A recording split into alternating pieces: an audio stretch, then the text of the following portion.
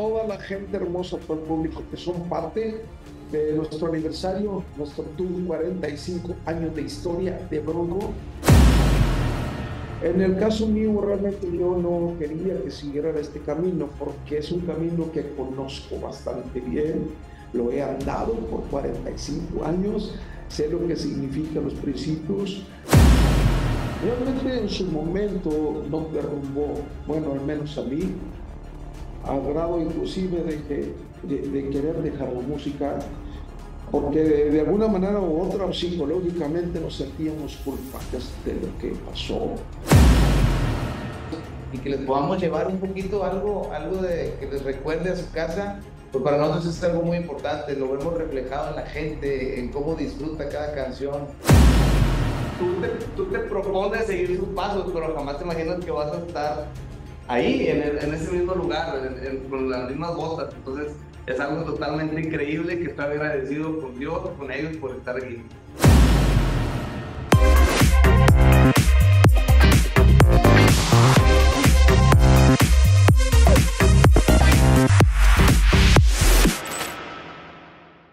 Hola, ¿qué tal amigos de Mundo Now? Mi nombre es Alonso Bañuelas y hoy estamos con un legendario grupo favorito de todos los hispanos en Estados Unidos y que seguramente estarán muy agradecidos de esta entrevista. Ya no me tardo más en presentar a Bronco. ¿Cómo están? Qué gusto saludarlos. Hola, mi querido Alonso, un abrazo fuerte para ti, para toda la gente que labora ahí contigo, de verdad, de todo corazón, agradeciendo este espacio. Eh, pues permítanos que se presenten los muchachos para estar en contacto. Hola, Alonso, ¿cómo estás? Javier Cantú, triste de Bronco. Hola, ¿qué tal? Yo soy René Esparza, bajo eléctrico. Hola, yo soy Adán Esparza, guitarra. ¿Qué tal, Alonso? Arsenio Guajardo, teclado y acordeón. Y un servidor, Guadalupe Esparza, encantado de saludarte, saludar a toda la gente hermosa, todo el público que son parte de nuestro aniversario, nuestro tour 45 años de historia de Bronco. Y nos enorgullece muchísimo presentarle a la gente y celebrar juntos precisamente este aniversario de 45 años. 45 años que, que de verdad yo creo que una forma de agradecer también es esta gira por Estados Unidos, ¿no? que, como lo decía en un principio, ¿no? Una, un público que, que lo recuerda a través de los años y que ustedes los hacen, generan ese vínculo, ¿no? De nostalgia. ¿Qué significa para ustedes estar con la gente hispana de Estados Unidos que definitivamente son una muestra de superación, así como ustedes? Este, que bueno, van a estar en Texas, en Chicago, en varios, todavía quedan muchas fechas en Estados Unidos, pero cuéntenme de, ese, de, su opinión acerca del público de Estados Unidos. Para nosotros es algo muy importante el público de Estados Unidos, ya que como lo mencionan, muchos paisanos, mucha gente latina que ha crecido este, escuchando la música de Bronco y que de algo también le ha ayudado, ¿por qué no? A toda esa gente que va a buscar un mejor sustento para su familia y decide irse a emprender vuelo, caminos, experiencias y, y, vida junto con su familia a Estados Unidos y que les podamos llevar un poquito algo, algo de, que les recuerde a su casa pues para nosotros es algo muy importante, lo vemos reflejado en la gente, en cómo disfruta cada canción que se interpreta y entonces para nosotros eso nos motiva a, a seguir realizando cosas y que la historia de Bronco siga armando capítulos nuevos y, y, que se sigan sumando también esas generaciones nuevas, que ya que Bronco pues es algo que lo caracteriza bastante en cada uno de los conciertos, que se puedan juntar más de dos, tres generaciones distintas y, sobre todo que es, eh, son conciertos para verse en familia también. Por eso es el motivo de estar yendo a este tipo de venues, este tipo de lugares, donde puedan ir acompañados también de sus niños, de sus hijos, este, y para nosotros es una emoción tremenda. Y sus abuelitos también. y los abuelitos. Hoy, hoy, René y Adán que, que, van a cantar también este tema, bueno, lo, lo están promocionando, ¿no? De Vamos a amarla los dos. Este, Cuéntenme acerca de esta experiencia de, de grabar este tema que, que, bueno, en un principio fue grabado por su papá y, y fue Mandingo, ¿no? La, la, el, el, que lo, sabe, lo, había grabado al principio, ¿no? Pero cuéntenme acerca de esta experiencia y también de lo que significa esa letra. ¿Qué, qué, qué, qué significa para ustedes esa letra? Yo creo que es la, contra, la contraparte de, de, de, de, la socia, se podría decir. Este, pero sí es una canción que compuso mi papá ya hace más de, 20 años. Este, como tú lo mencionas, la grabó con, con mis tíos de Mandingo en, en, en, aquel, en aquel entonces. Este, para, esta, para esta época, para estos tiempos que estamos viviendo ahorita, este, se nos hizo muy interesante grabar, grabar ese tema. Que muy en especial le gusta a la gente de, Sudamérica, a todo nuestro público de, Argentina, de, de, Paraguay. Este, gusta mucho por esta canción en especial, entonces nos hizo interesante volver a retomarla, agregarle musicalmente el estilo de bronco con una base sólida de bronco, pero fusionarlo un poquito con la cumbia villera, la cumbia de allá de, que se acostumbra mucho en Argentina, este, y se nos hizo muy, muy interesante, además de poderla interpretar, pues ahora en, aquellos años eran los hermanos, mi, tío Mario Esparza y mi papá, y en esta ocasión los hermanos Esparza también, mi hermano René y, tu servidor. Y pues le ha gustado mucho llegar a la gente. Ya hace tiempito que lo grabamos, ¿eh? ya hace como, como un añito más o menos que, que hicimos ese tema. Okay. Este, eh, además tenemos también el Marraneo Time disponible ahí en nuestra plataforma digital, donde también vienen más música y muchas colaboraciones también. Este, y pues ahí se los encargamos, esperemos que les guste, es de, lo último que hemos estado haciendo. Y ahorita pues ya estamos preparando nuevo material, nuevas canciones para este año también. Oye, Lupe, tú, este, bueno, bien lo has platicado, ¿no? El, el Twinies, tú te criaste también este, en tu niñez trabajando ahí, mientras cantabas temas de Antonio Aguilar ahí entre chivas y vacas, este, eh, y, tu sueño realmente que era ser maestro de educación física, ¿no? Pero ¿cómo, cómo, fue eso, ese, ese salto? O sea, ¿en qué momento tú dijiste, tengo que hacer eso? Porque bien lo decías, el mayor de dos hermanos, era un futuro muy diferente para ti. Este, ¿Cómo, fue eh, tu decisión de decir voy a hacer este grupo en la secundaria? Este, cuéntame acerca de esa, de esa decisión que cambió. Sí, fíjate, Tony, que, me encanta que, que, estás muy documentado, prácticamente son mis, mis, mis, mismas palabras, eso que tú estás platicando. Y sí, tienes razón, yo le confieso a la gente y a ustedes que realmente en mi niñez o mi juventud hablamos entre entre 8 y 15 años por ahí. Eh, yo cantaba efectivamente en el monte, cantaba para mí, ni siquiera sabía si lo hacía bien o mal o más o menos, pero la música no estaba en mi camino, ni en mis sueños para decir yo un día voy a ser cantante de ronco y, mi música va a llegar a muchas partes, voy a escribir muchas canciones, eso no pasó, no estaba en mi mente, se dio a, tener un gusanillo de, de, tocar música ya después de, secundaria, donde conocí a Chochi a Javier, eh, a Eric, donde empezamos a, a, juntarnos como amigos, a hacer música, pero te repito, creo que la música me rescató de donde yo estaba al mundo de la música, este, a intentarlo, a, a hacer muchas cosas, a fracasar, pero seguir intentándolo y así es como se escribió la historia de Bronco. Pero realmente yo no nací pensando en ser cantante de, un grupo o simplemente cantante. Eh, nunca estuvo en mi mente. Y como tú dices ahorita, yo quería ser profesor de educación física. Y más allá de eso, no había otra ilusión que, que, que pudiera ser la música. Eh, sin duda alguna, creo que la música me rescató o me trajo, no sé cómo llamarlo, pero sí es la historia mía hablando de, de música. ¿Y por qué en el caso de, tus hijos? O sea, porque eh, ellos crecieron prácticamente, ¿no? A los cinco años creo que fueron con sus primeros conciertos de gira contigo y, y, que, y que se fueron, pero tú decías que lo último que querías que, es que ellos se dedicaran a la música, pero ¿por qué, por qué no querías eso? ¿A qué, qué te hubiera gustado que se dedicaran? Digo, ya estaba prácticamente escrito que ellos fueran este, músicos también y artistas? Por, naturaleza, normalmente los papás quieren que sus hijos sean lo que tú eres, si hablamos de otras cosas como doctor, licenciado o abogado. En el caso mío, realmente yo no quería que siguiera este camino porque es un camino que conozco bastante bien, lo he andado por 45 años, sé lo que significan los principios, qué significa ausencias de la familia, eh, peligros, accidentes en la carretera, este, fracasos, hambres, fríos, y la verdad pues yo, yo no quería que mis hijos pasaran por, esta, por este camino, pero de alguna manera al hacerlo, haciendo su grupito Trotamundos, empezaron a, a, a, este, a picar piedra y aguantaron el, el, camino. Yo pensé que era solamente era un caprichito de ellos de niños porque me miraban a mí, porque iban a los conciertos de nosotros ahí consentidos por Choche, que en paz descanse, y dijo, esto se les pasa ya, rato van a hacer otras cosas, pero no.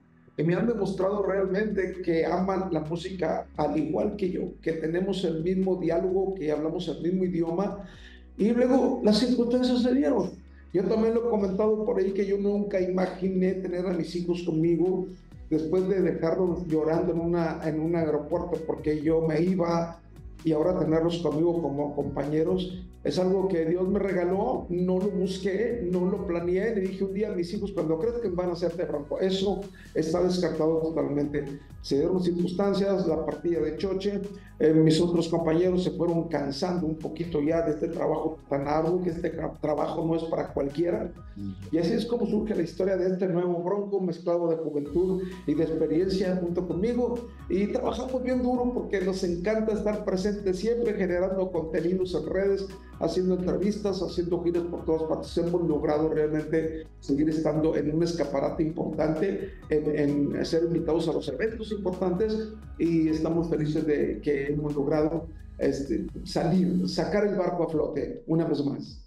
Oye, Lupe, ¿no fue fácil integrarse a, un rubro, este, en este caso, en aquellos años, eh, a un mundo tan competido y a veces tan elitista y discriminatorio. Por ejemplo, siempre en domingo este, no era fácil cantar ahí. Este, tuviste que aguantar algunos este, desprecios en algún momento. Incluso Raúl Velasco llegó a hacer algunos comentarios en algún momento feos este, contra varios artistas. Pero ¿qué, qué, qué, este, ¿cómo fue llegar hasta un escenario como siempre en domingo y demostrar que realmente ustedes eran un gran grupo que, que, tenían que estar ahí. Para estar siempre en domingo se necesitaba tener ya cierto éxito o que fueras una novedad, eh, que una canción tuya estuviera éxito en, todo México para que te pudieran aceptar ir a siempre domingo. Ir a siempre domingo era como la catapulta, el que fuera siempre en domingo, entre comillas, significaba que era un grupo exitoso. Y nos tocó a nosotros estar, por ejemplo, nos daban una fecha dentro de tres meses para estar siempre el domingo. Y esos tres meses no pensaba yo en otra cosa más que en eso, me ponía nervioso, me ponía tenso. El Señor Velasco, ¿cómo se va a estar con nosotros? ¿Qué va a pasar? Y fíjate que bendito Dios, muy bien. Tal vez se hable algunas cosas negativas del señor Velasco para otras gentes. Tal vez haya comentado algo sobre nosotros. En ningún momento me percaté de ello siempre nos trató maravillosamente bien fuera de cámaras y dentro de cámaras también. Y la verdad que fue, fue muy increíble, al grado de que cuando él se, retiró un poquito de, de, la televisión por su enfermedad, cuando regresó me hicieron un homenaje a él. Este, estaba yo, Sebastián, y nos pidió a nosotros, y la verdad que, que fue muy bonito esa historia. Bronco ha, atravesado eh, situaciones que, que los han marcado, ¿no? Como este, aquella tragedia donde murieron fans y donde nació aquella canción que compusiste, ¿verdad? Pero este, esos recuerdos a Bronco, ¿cómo a ti personalmente, cómo te hicieron más fuerte esa, esa experiencia que lo hemos visto en, incluso en conciertos actuales de Taylor Swift, RBD pasó lo mismo, pero Bronco en aquel momento, ¿cómo lo vivió esa tragedia? Realmente en su momento no derrumbó, bueno, al menos a mí, al grado inclusive de, de, querer dejar la música, porque de, alguna manera u otra psicológicamente nos sentíamos culpables de lo que pasó, como ocho fans de nosotros en su momento se nos adelantaron, nos sentíamos culpables, hice la canción, era de un homenaje por ahí, y sacamos fuerzas, empezamos a asimilar la situación, a aceptarla, nos disculpamos con la familia de, las personas que se fueron, nos sentíamos así muy acorralados. De verdad que yo no sabía ni qué hacer. Los primeros conciertos a los que salimos después de eso, yo ni podía cantar, me ganaba el sentimiento, me ganaba el dolor, me ganaba el llanto. Este, pero nos pusimos a eso, pero realmente es un capítulo de la vida de Bronco que sí nos marcó para toda la vida. Obviamente después la partida de Choche, la partida de Choche fue un, un golpe muy duro para todos nosotros este, pero en fin, la vida es así, te da y te quita y tienes que entenderlo y aceptarla y vivirla como tal, así como viene.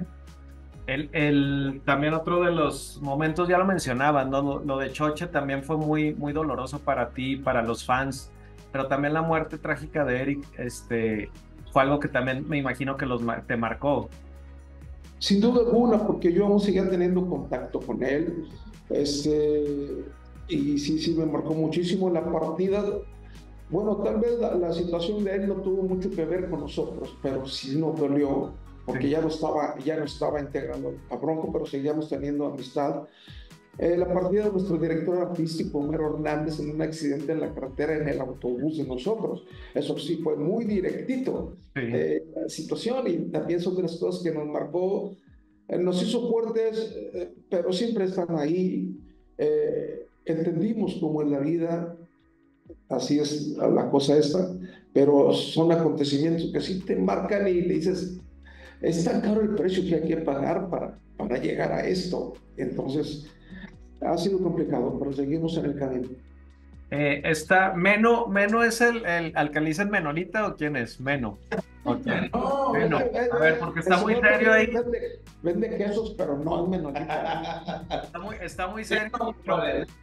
Meno, cuéntame, cuéntame acerca de, cuéntame acerca de, de, qué significa para ti estar en un grupo así. O sea, supongo que, que sabes, tal vez estás muy chico, pero que tenían tienen película, tienen, tenían marca de ropa, tenían una historieta, un cómic, y ahora tú formar parte de este grupo legendario, ¿qué significa para ti? Yo, yo tengo todo eso, nos va en la casa, yo lo tengo guardado, yo soy fan de Broncos desde los cinco años. Este, entonces imagínate, ya que te puedo, que te puedo es que pasa, mi compañero está jugando ahí con el controlista de la cámara. Ya le yo. Y no, este, no, es, es muy increíble. Eh, lo comentaba con mis compañeros que eh, de niño tienes un ídolo, tienes una imagen y nunca te imaginas que tú te, tú te propones seguir sus pasos, pero jamás te imaginas que vas a estar ahí, en, en ese mismo lugar, con las mismas botas. Entonces, es algo totalmente increíble que estoy agradecido con Dios, con ellos por estar aquí. Fíjate, Alonso, que en una situación como el destino va acomodando a las piezas.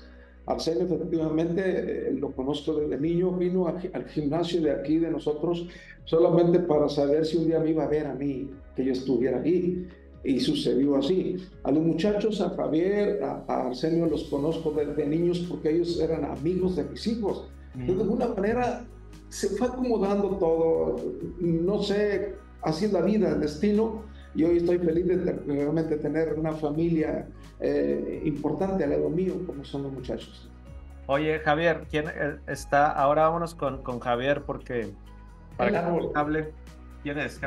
Aquí está, ok. Eh, pero, ¿y a ti? ¿qué, ¿Qué significa también para ti este, estar en este grupo y que también otros grupos eh, en su momento le rindieron homenaje a Bronco, desde grupos de rock, de punk, de... Y ahora no te gustaría que, que, por ejemplo, algún, algún grupo o algún cantante como Peso Pluma, alternar con ellos, este, con Grupo Frontera. ¿Qué opinas de toda esa generación de, de nuevos cantantes? ¿Quién es el que más te gusta? ¿Y con quién te pues gustaría hacer algo?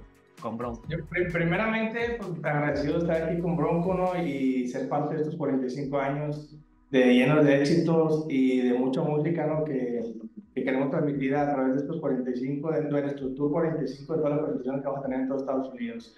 Y ahora de la gente nueva, pues yo creo que todos, la verdad, yo soy muy versátil, me gusta escuchar de todo, desde reggaetón, reggae, eh, norteño, obviamente lo mayor de nosotros. Y ahora el Tumbado, tumbado, hecho también dos, tres canciones ahí, pero yo creo que en general eh, cualquier artista que nos inviten y que que podamos hacer algo juntos, la verdad estaríamos ahí nosotros muy, muy contentos ¿no? de poder fusionar eh, todo lo, lo, de Bronco con las cosas nuevas que están surgiendo en el mercado. Pero menciona uno, ¿quién te gustaría? Pues me gustaría, yo creo que Cristian Nodal, compadre, la verdad me gusta mucho lo, que hace Cristian Nodal. Okay. Fíjate que, que Alonso, eh, obviamente estamos en otros tiempos, tiene que surgir nuevos valores importantes que, que marquen una, una huella en el camino.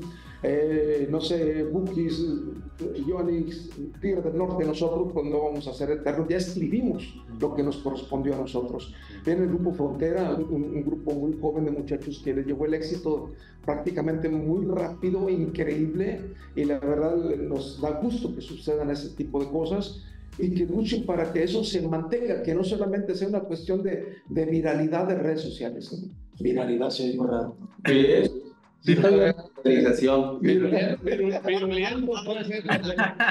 Oye, Lupe, pero fíjate que me llama la atención que, que este, digo, hay duetos que, que han hecho Grupo Bronco desde Ana Bárbara, desde este, lo de Manzanero, que marcó también un antes y un después y todo, pero uno con Don Francisco, yo creo que nadie, nadie sabía que, o sea, como que ahí, ¿cómo, ¿cómo fue esa experiencia de grabar con Don Francisco? No manches. Yo creo que en un momento en que don Francisco eh, eh, le dio por ser cantante, sí. y obviamente nuestra compañía de izquierda, de alguna manera, por quedar bien con él, vamos, aquí está Bronco, vamos a hacer una colaboración. Y la hicimos muy divertida, la verdad que fue muy increíble. Este, obviamente hay gente que tiene esa ilusión de ser cantante de cuestiones de como, como él, animador de televisión, pero por una cosa o por otra no es el camino de ellos. La gente quiere verla conduciendo televisión pero realmente es una historia más también bonita. Nos hubiera encantado haber hecho también una colaboración con Raúl Velasco, porque me hace que este señor no cantaba nada. Al menos Don Francisco se afina y ahí. ¿Cuál es la canción icónica de él? El Pachi Pachi. Ah, Pachi Pachi, sí. Sí, sí, Pachi Pachi. Ese fue sus inicios como cantante y con nosotros se consolidó. Muy bien. Oye, Lupe, bueno, este, eh, si en algún momento se presenta la oportunidad, este, volverían a tener comunicación con, con Javier, con Ramiro, con qué pasa con ellos, este, ahorita en este momento. En este momento, pues no tengo idea qué esté pasando con ellos. De verdad, nosotros les deseamos que les vaya muy bonito. Yo te comentaba hace rato que de repente esto de la música no es para cualquiera. La gente se piensa a cansar, a fastidiar eh, y, ya deciden de una manera diplomáticamente dejar el barco.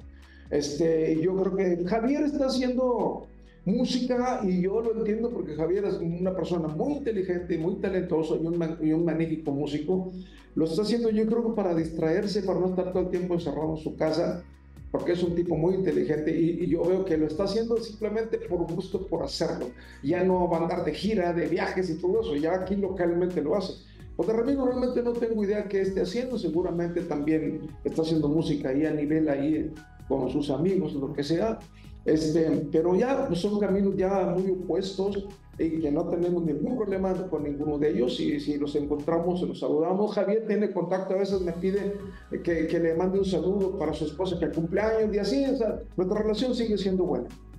Lupe, ya, ya tenemos que terminar, este, pero por último, eh, un mensaje para toda la gente de Estados Unidos, que no se pierdan esta gira, que definitivamente es, un, es una oportunidad única en la que podrán recordar desde todos los éxitos. Hablando de eso, ¿cuál es, cada uno me puede decir cuál es la canción que más disfrutan de, de Bronco? Empezamos contigo, Javier. ¿Cuál es la que más te gusta? A mí Sergio Bailabaco parece la, la que más me gusta, cuando entramos ahí con todo. Eso. Es, es complicado escoger una, una canción y más con, con tantos éxitos. Este, pero pues yo por poner alguna, yo creo que Quiéreme como te quiero es un tema que disfruto mucho cantar y tocar. La tuya no Yo, yo, ah, yo también eh, digo, creo que es complicado. De hecho, año con año tratamos de alternar el, el set list con otras canciones que no tocamos en años pasados no. para tratar de complacer a toda la gente de, de tantos éxitos que nos han hecho de, de, sus amigos de Bronco. Pero si me dieran a escoger una, yo creo que, que no quede huella. Es, uno, es un himno para, para Bronco, no en todos lados. Oro pared. Eso. Okay. Eso. ¿Y la, la tuya, cuál es tu favorita? Alonso, para mí las canciones que, que, que, hacemos nosotros y que han sido éxito, realmente no, no, puedo entregarme a una. Ya mencionaron ellos muchas de las que me gustan mucho y que les tengo mucha gratitud, como Sergio Bailador, que no quede huella. Pero las canciones son como, como nuestros hijos, no hay canción fea. Entonces, la verdad, nos encanta eso y tengo todas las canciones de Bronco son mis favoritas. Muy bien, este, un mensaje para la gente de Estados Unidos que no se pierdan este, esta gira y este tour de 45. Claro que sí, a toda la gente de Estados Unidos bien pendiente, los invitamos a que nos sigan en nuestras redes sociales, este, para que sepan dónde va a estar el cabalgar de Bronco y este tour 45. Y pues para toda la gente de Texas, que es donde iniciamos también esta, esta gira, nos esperamos allá toda la gente de, de Corpus Christi, a la gente de Laredo, Texas, de McAllen, Texas. El 12, viernes 12 de abril, iniciamos ahí en McAllen el 13 en Laredo, Texas, y el 19 en Corpus, ahí nos vamos a ver. Entonces ahí para que estén bien pendientes, ahí vienen los links, este, las tiqueteras donde pueden adquirir ya su boleto, que por cierto ya está todo a la venta, entonces este, invitamos a toda la gente, todavía hay algunos lugares, entonces para que corran por su, por su asiento. Muy bien, muchísimas gracias, les agradezco enormemente su tiempo. Un gusto platicar con todos ustedes. Gracias, Lupe. Gracias, un abrazo, un abrazo. Gracias, igualmente.